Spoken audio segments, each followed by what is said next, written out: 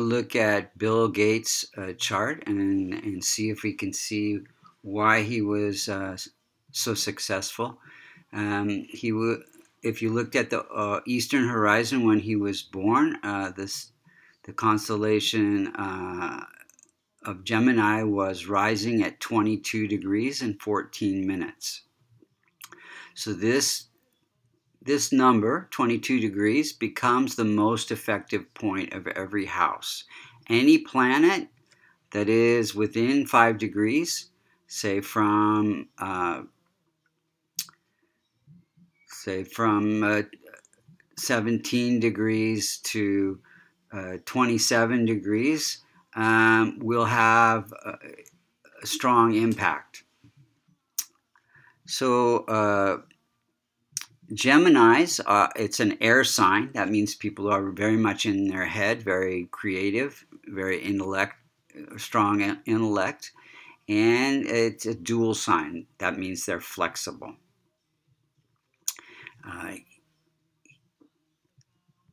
when we look at a chart, we want to see what the functional benefic planets are and the functional malefics. And so if you find a mooltrikona sign, which are 1, 4, 5, 6, 7, 9, and 11, in any of the houses that cause challenges, the sixth house, the eighth house, or the twelfth house, those planets that rule those signs located in those houses become functional malefic. Geminis do not have any functional malefics besides Rahu and Ketu. And so it's a it's in some ways it's a very very powerful uh, sign to have. Um, we can just look and see how the planets are operating and when they're operating and uh, what we can do to even uh, to remedy or fix the chart, fix your chart, fix your life. Now, in Bill Gates' situation, he did not have a lot to fix. But there are some planets that could have been strengthened to um, just smooth out, make smoother sailing. Um, so Sun is uh, loca- Sun, Venus, and Saturn are all located uh, in this fifth house of creativity, independence, children, and investments. Sun is uh, ruling uh, the third house of communication and entrepreneurial success. And it in this chart, it is actually debilitated. So it could have been strengthened to even um, given him more um, possibilities. Uh, Venus uh, is also located in this, uh, and it's uh, uh, this particular house, the fifth house of creativity, uh, conjunct with Saturn. It's within five degrees, so there is some impact. So Venus is ruling the. It's in its own house, so that makes it very powerful. And uh, so Venus gives huge creativity, um, a beautiful wife, a, a, a very bright wife. Um, and Saturn, which is ruling the house of good fortune. So this combination is very, very good for his success, uh, especially the Venus and Saturn uh, being conjunct in that fifth house of um, investments and creativity. And he also had uh, three beautiful children as well. Uh, so uh, let's look at some other planets.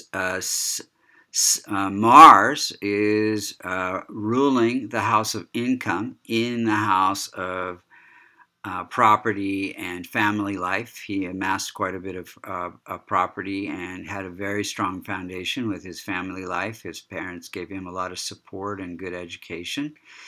Um, and it's also in that same house with Mercury. Mercury it gives, um, it's in its own house and it's strong, and so it's giving um, good intellect, um, good business sense, um, uh, ability to communicate well, and and so this um, you know give him uh, computer engineering skills, IT skills, working with the public.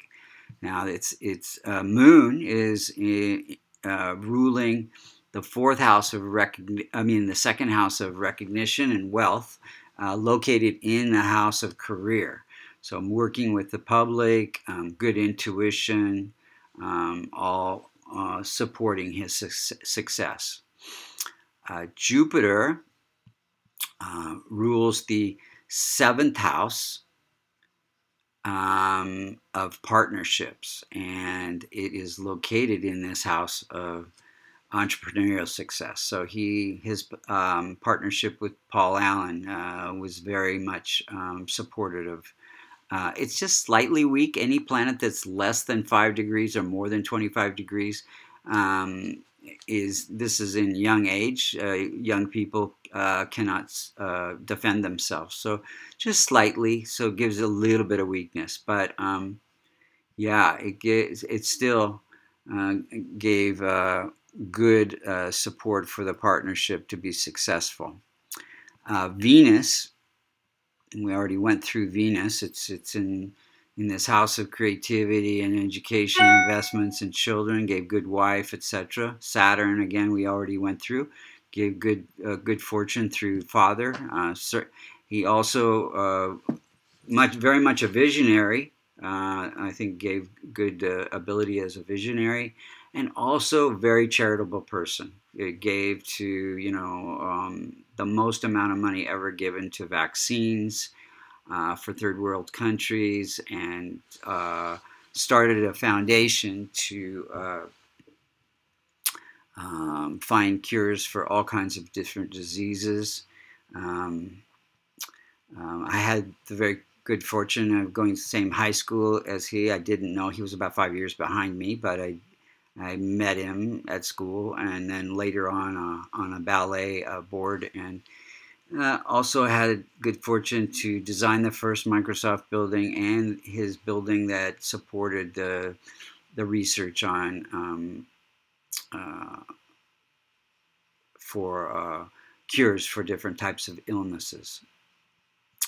Uh, Rahu and Ketu are both functional malefic in every person's chart, um, but they aren't causing. They're almost benign. Uh, Ketu actually afflicts five, seven, and nine houses away if it's within five degrees. So uh, we see that one, two, three, four, five uh, is it's afflicting Mercury, um, giving you know Mercury gives insight and to this uh, Mercury in communications. Um, but it can bring some ups and downs as well, depending on the transit periods. And uh, so uh, that's the only affliction. Um, and uh, let's see here. So he pretty much, you know, because he didn't have, uh, uh, only had the two functional malefics and only one affliction, had pretty smooth sailing. Uh, remedies that could be um, supported would be uh, wearing a kavach, which would strengthen um, Saturn, which is just slightly in old age, and Venus, which is slightly in old age, um, and uh, Sun, which is debilitated. Um, Mars is actually in fairly good shape. It's one of his best planets. Gave him ambition and drive to be successful. Um, Mercury. Uh, is also very strong and, and uh, doesn't need much strengthening. But Jupiter, slightly weak, would have given him um, uh, even better uh, success um, in terms of uh, partnerships. Now we can look at the um, Vimshottari uh, Dasha periods, and we see that he was born uh, in a Saturn period. Uh, Saturn uh, rules this house of good fortune.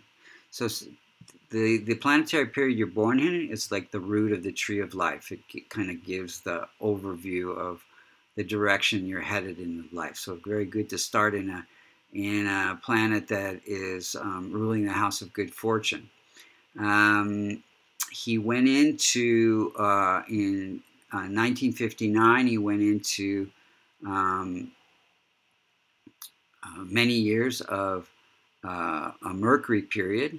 Uh, Mercury is uh, very close to the rising sign degree, so that gives it a lot of strength. And uh, so um, it actually um, supports success in career. And Mercury uh, aspects seven houses away, which is the house of career, and the house of property and family. So very strong family support and a lot of uh, property amassed in his lifetime. Um, and uh, Mercury is also the planet that supports, uh, you know, intellect and communication, which is really the IT industry. Um, even at the early age of 15, uh, he was earning money, um, doing something to do with computers. Um, I, I, think during the Mercury period, he also entered Harvard, but then uh, as K, because of the Ketu affliction, uh, gave him a want, a desire for a strong independence. He quit and he founded Microsoft in um, 1981 and uh, then he went into uh, let's see here. He uh, uh then he went into a Venus period uh, which in, in 91 1991 he became the richest man in um, the, uh, the, United States. In 94 he married during that Venus period with Venus's wife. In v- 1995 he went into a Venus uh, period uh, with a, a subperiod of Jupiter. Jupiter has to do with this house of government and father and but also good fortune. So there was some um, uh, issues with the government with the antitrust lawsuit uh, in 95. So that, that has to do with government. Um, in 2003, he went into a, um, a sun period uh, which gave uh, lots of uh, success. Um, and then in 2009 until uh, now, he's in a moon period where he's gaining lots of recognition and, and wealth. So um, this is the chart for Bill Gates, um, and these are the main points.